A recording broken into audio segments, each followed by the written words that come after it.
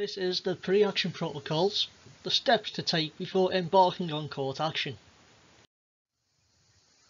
This presentation covers the list of protocols and where to find them, the aim of the protocols, compliance with the protocols, and the typical steps taken in a protocol. Protocol. The last update to the list of protocols under the Civil Procedure Rules was on the 12th of February 2020. There are 16 pre-action protocols and one practice direction. They can be found on the Justice website. And here's a list. Five of these relate to personal injury claims, four relate to landlord and tenant disputes, and others relate to travel claims, debt, construction, data protection, privacy, defamation and judicial review. The aim of the protocols is to explain the conduct and the steps that the court would normally expect the parties to take before commencing court action.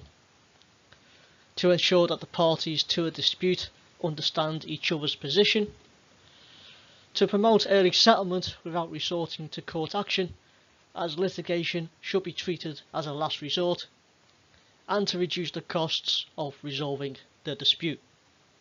The dispute. Compliance with the protocols is not mandatory. However, non-compliance can result in sanctions, which include the defaulting party paying the other side's costs even if they win the claim, receiving no costs if they win the claim, receiving reduced or no interest if you are the claimant and you win, or paying additional interest if you are the defendant and you lose. Therefore, you should treat the protocols as mandatory to avoid sanctions. Each protocol sets out the steps which the parties should take before commencing court proceedings, and each protocol has a different set of steps. But the typical steps are the claimant sending a letter of claim or letter before action to the defendant, the defendant responding within a reasonable amount of time.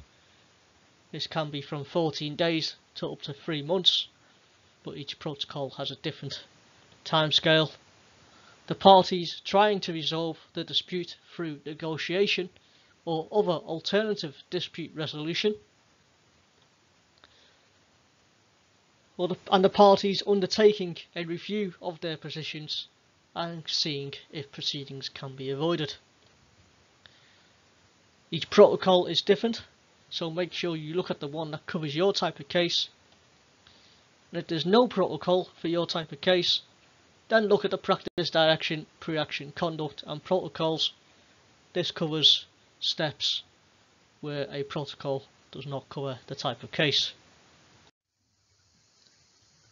Step 1 is the letter of claim. And this should set out details and facts of the claim and allegations, what remedy or outcome the claimant is seeking, and if that remedy is money, how it is calculated, and provide any documents or evidence to support the claim. Step 2 is the defendant's response, and the response should be given within a reasonable amount of time, from 14 days for up to 3 months. That depends on the complexity of the case or whether there are any time limits set out in a particular protocol. For example, in the debt recovery protocol, the time for a response is 30 days. If the defendant requires more time, they should ask for it and say why they need it. And the claimant should be reasonable in allowing more time because we must remember litigation should be treated as a last resort. The response should set out whether the claim is admitted or accepted, and if not, the reasons why, and provide any evidence and documents to support the denial. After those two steps have been completed, the parties should be able to understand the other's position. But if not, clarification should be sought and there is nothing preventing the parties from exchanging settlement offers and that includes Part 36 offers if this applies. Parties should always consider using alternative dispute resolution to try and settle the case. This can be cheaper and quicker than going to court. With some, in some cases, ADR resolves a case within one day and costs a lot less money.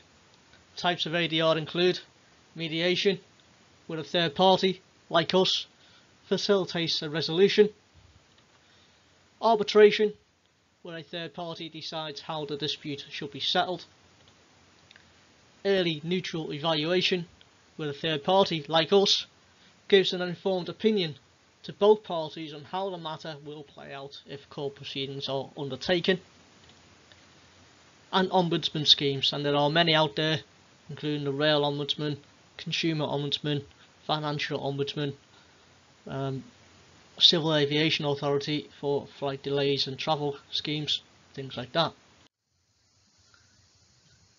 Fourth and final step before proceedings should be issued is stocktake and each party, especially the claimant, should review their position and ask themselves whether this matter can be resolved without taking court action and if so how what are the issues in the case?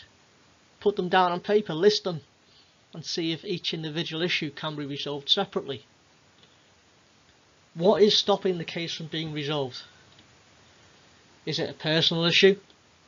Lack of understanding of the other side's case maybe? Or perhaps someone being stubborn?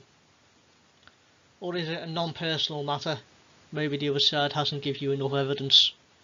And if, if that's the case, ask for it see if you can avoid that court action. If you require more information, then you can visit our website, send us an email, give us a ring, make an appointment for a video appointment or face to face when we're out of lockdown, or come and see us when it's safe to do so. Please do check us out on Trustpilot, Facebook and Twitter, and do stay tuned for more presentations and subscribe.